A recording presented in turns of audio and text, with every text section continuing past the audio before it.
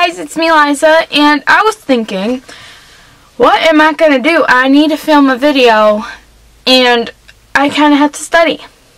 So, I decided I was going to show you guys how I study.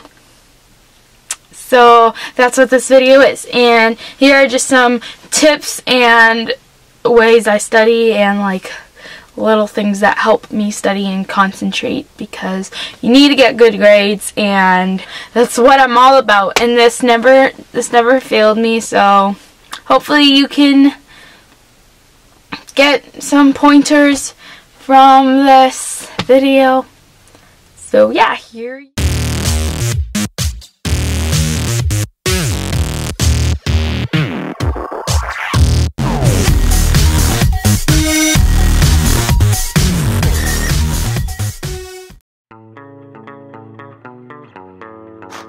first thing I do when I have to come home and study for a test is usually get home first and then I go to my kitchen and I make myself a cup of tea. But before I start making myself a cup of tea, I usually get distracted either by a book or my phone. So after I put my book away, I go to my cupboard and I grab a mug that I'm feeling today and I decided to get my TARDIS cup, and it's probably my favorite because it has a TARDIS on it. Hashtag time and relative dimension in space. so as my water heats up, I choose my tea, and I'm going to be using Black Cherry Berry Herbal Tea, and it's by the Celestial brand thingy, and it smells so good, and I love fruit flavored teas, it's just the best. So I let that brew, and then when it's done, I got me some tea. And after my tea is ready, I just go up the stairs and into my room. And then, to make myself a little more comfortable, I put my hair up in a ponytail.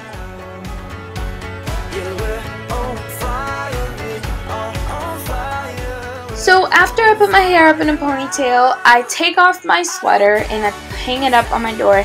And then I change into my awesome Batman onesie that I got at Target. And then I do this super lame dance because, you know, being lame is cool in a way.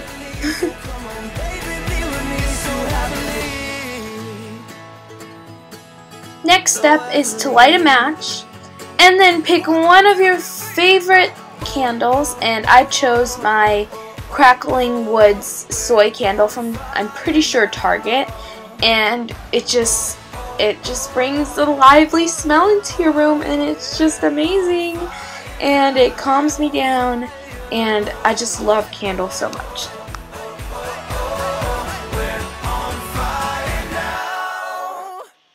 After I have my flame going, or candle, whatever you want to call it, I get my iPad, because that's where I have my notes and stuff, and then I go on my laptop, and I just put on some jams, and currently I've been really obsessed with Happily by One Direction, and that's what I'm putting on right now.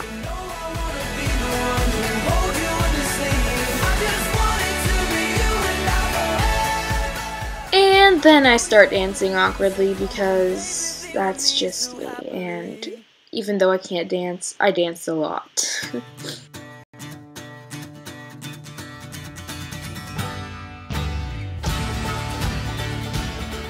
Basically, the only studying technique I have is memorization. I'll just try and read a paragraph and then I'll write it by memory on another piece of paper. When I have finished writing down everything that I can remember, I'll go back to my resource and I'll just check off what I did know or Another thing I like to do, mostly when it comes to midterms or finals, I like to color code what I do know and what I don't know. Like, if I have an area in which I need to know more, I'll put it in pink or blue, and if I know something better, I'll put it in yellow or orange. If you're wondering what note-taking app I have for my iPad, it's the Notability, and I'm pretty sure it was like $2.99.